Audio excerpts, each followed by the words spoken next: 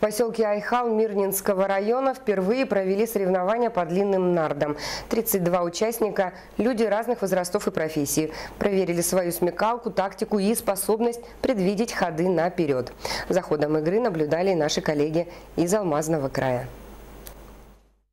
32 участника собрал турнир по длинным нардам. Машинисты экскаваторов, белозисты, токари и сварщики проверяли свои силы в игре.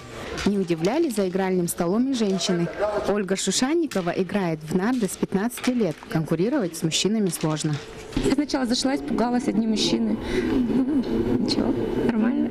Я обычно проигрываю мужчину, но все равно не теряю надежду. Пять часов в местном дворце культуры царили спортивный азарт и дружеская обстановка. Организаторы турнира «Поселковый совет молодежи», профсоюз «Профалмаз» и руководство Айхальского комбината. Сегодня любители нарт боролись не только за победу, но и за приз за самую лучшую игральную доску. Победителем в этой номинации стал Александр Гарпинченко. Александр, скажите, пожалуйста, откуда у вас эта доска? Здравствуйте.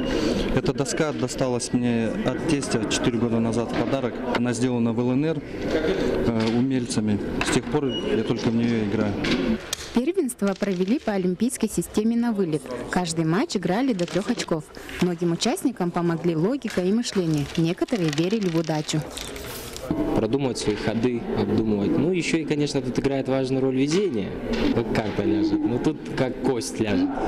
Спортивные баталии закончились к вечеру. Победителем в личном зачете стал Владимир Забелкин.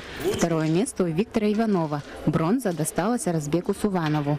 В командном зачете лучшими нордистами Айхала признаны работники автобазы технологического транспорта.